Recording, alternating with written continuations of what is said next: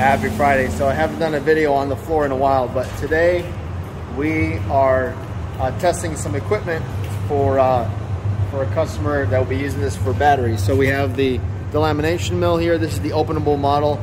We've done a video of this before. So uh, just a quick recap here.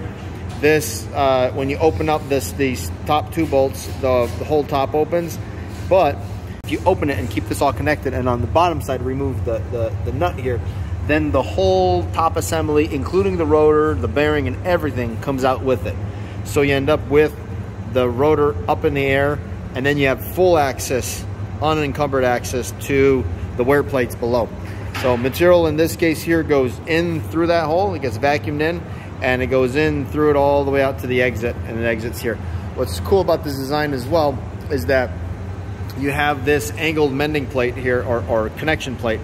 So when you uh, open this up here, all you do is remove these four bolts and then this plate just slides out of the way with it. It follows, it follows the mill out of the way. Um, and then it closes back up and it seals. So uh, this top part is supported, self-supported by the mill itself. So your pipe sitting on top of this going to your cyclone, you don't have to disconnect any of that. It just stays there.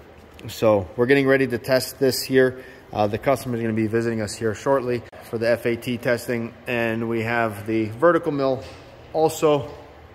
And then we also have the dosing hopper with a airlock over there.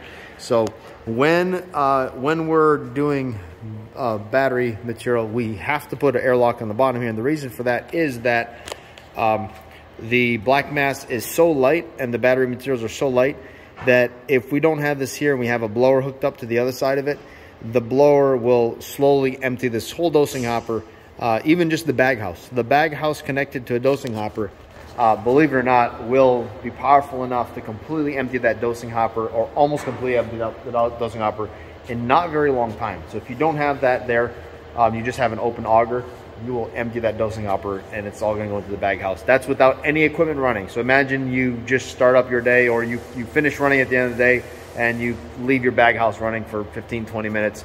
Um, and uh, just for the clean out cycle, well, that could happen. That's what we got going on right now. Anyways, like, comment, subscribe. We'll catch you in the next one. Happy Friday.